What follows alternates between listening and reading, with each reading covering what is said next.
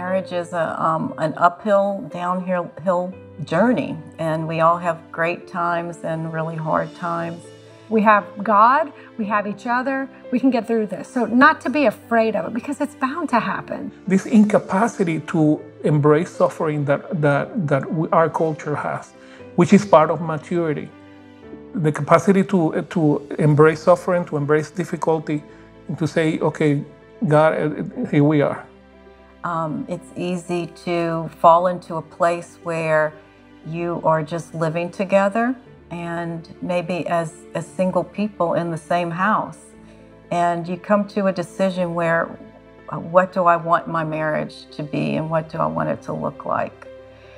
And in that decision, it, it means um, making a choice of doing something. It, it's a mutual, it's not all on one person. Um, the struggles, it's never all on one person. Um, we both have to lean on each other.